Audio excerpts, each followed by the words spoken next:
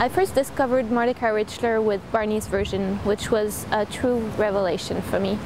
And then I got to know um, another side of him when I translated a few of the nonfiction texts he had written about his life as a man and as a writer. And uh, a few of them were really touching, most were extremely funny. And in one he recalled the very first critic to appear in Canada on his very first novel, and it read, You've not heard of Mordecai Richler yet, but look out, she is a name to watch for. And I just thought it was hilarious. I was pretty sure he had made it up though, but still. And then a few months ago, my own very first novel appeared in France and my publisher sent me the very first critic.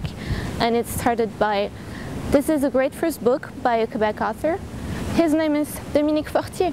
And I swear, I could hear Mordecai Richler laughing.